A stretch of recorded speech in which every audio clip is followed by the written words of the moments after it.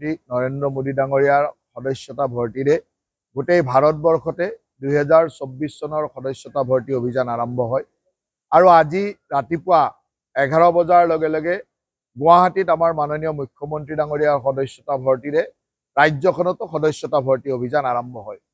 আজি পিছবেলা আমি নলবাৰীত মই জিলা সভাপতি আমাৰ দলৰ জ্যেষ্ঠ নেতাসকল বা জ্যেষ্ঠ নেতৃত্ব জ্যেষ্ঠ কৰ্মীসকল সকলোৱে লগ হৈ ইয়াতে সদস্যতা ভৰ্তি অভিযানৰ শুভাৰম্ভণি কৰিলোঁ আৰু আজিৰ পৰা আমাৰ সকলো দলীয় সতীৰ্থই চুবুৰীয়া দলৰ জ্যেষ্ঠ সদস্যসকল দলৰ বিভিন্ন পৰ্যায়ত থকা দলীয় সতীৰ্থসকল সকলোৰে ওচৰলৈকে গৈ দলৰ সদস্যতা ভৰ্তি তীব্ৰ গতিত চলাই যাব।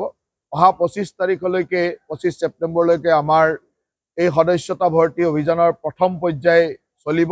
আৰু এই প্ৰথম পৰ্যায়ত আমি গোটেই অসমতে ষাঠি লাখ সদস্যৰ ভৰ্তিৰ লক্ষ্য আমি আগত ৰাখি আগবাঢ়িছোঁ। আৰু নলবাৰীতো আমি সেই ধৰণেই আমাৰ প্ৰতিটো সমষ্টিতে কিছু লক্ষ্য ৰাখিছোঁ। আৰু সেই লক্ষ্যত আমি সকলোৱে সুন্দৰভাৱে কাম কৰি আগবাঢ়ি যাব পাৰিম বুলি ভাবিছোঁ। আৰু সকলোকে আহ্বান জনাইছোঁ যে ভাৰতীয় জনতা পাৰ্টীৰ দলৰ সদস্য হ'বলৈ কাৰণে যাতে সকলোৱে আগবাঢ়ি আহে।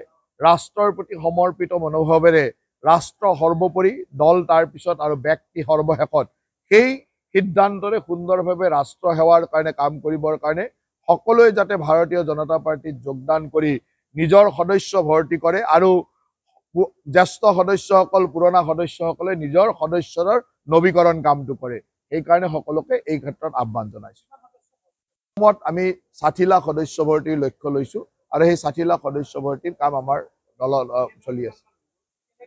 ৰাতিপুৱালৈ এঘাৰ লাখ সদস্য ৰাতিপুৱা হৈছিলে ৰাতিপুৱালৈকে হৈছিলে এতিয়া দিনটোত আৰু বাঢ়িব। গতিকে ৰাতিপুৱা এঘাৰ বজাত মুখ্যমন্ত্ৰী ডাঙৰীয়াই সদস্য লোৱাৰ পিছতে আমি তাৰ ডাটা চাইছিলোঁ তেতিয়া এঘাৰ লাখতকৈ বেছি সদস্য ভৰ্তি হৈছিলে।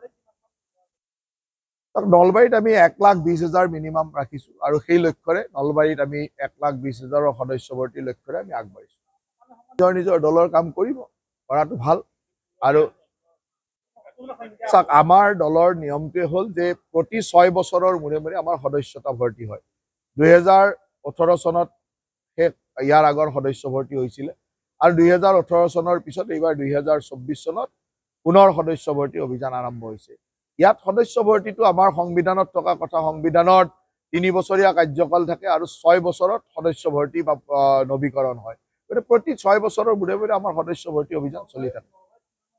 লক্ষ্য ৰাখিছোঁ আৰু সেই লক্ষ্যৰে আমি সকলো সদস্যকে নিজৰ নিজৰ অঞ্চলসমূহত নিজৰ নিজৰ চাহ চিনাকি মানুহখিনি বা বিভিন্ন অনুষ্ঠান প্ৰতিষ্ঠানত কেনেকে কৰিব পাৰে তাৰ কামসমূহ কৰিবলৈ আগবাঢ়িছোঁ। বিচাৰি পাই ন পুৰণি আমিতো বিচাৰিয়ে নাপাওঁ কোনবা ন কোন পুৰণি আমি বিচাৰিয়ে নাপাওঁ। যদি ঐচুদ্দিনৰ কথা পতা হয় তেতিয়াহ'লেতো আৰু অসমখন ক'ত টিকি থাকিব? অসমত এইবিলাক মানুহৰ প্ৰসংগ আনিবই নালাগে।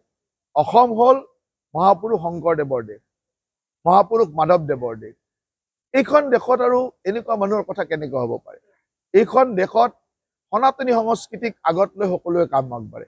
আনকি ইয়াত বেলেগ ধৰ্মাৱলম্বী লোকেও ভাৰতীয় সভ্যতাৰ ওপৰতে আগবাঢ়ে। ধৰ্মতকৈ আমাৰ সভ্যতা আৰু সংস্কৃতি আগত। যদি সংস্কৃতিক অপমান কৰে সেই ধৰণৰ মানুহ ইয়াত থাকিব নোৱাৰে।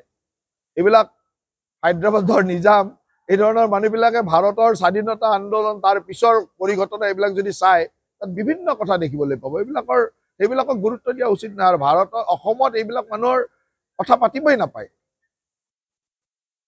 নাই। মই গমেই পোৱা নাই এইমাত্ৰ আপুনি কৈ থৈহে গম পালো। মই গমেই পোৱা নাই তেনেকুৱা কিবা হৈছে বুলি। গতিকে কথাটো হ'ল যে এনেকুৱা অভিযোগ বিভিন্নজনে কৰি থাকিব।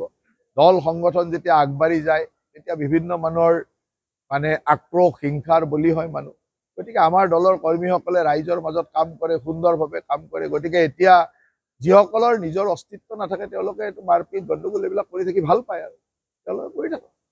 হয় নাই? এতিয়া সেইবিলাক মানুহকো জানে এইবিলাক মানুহৰ তথ্যবিলাক ওলাই লওক কোন কিমান কাৰ কিমান তথ্য আছে ওলাই লওক। ওলাই লৈ পেলাই গম পাই থাকিব এইবিলাক মানুহ।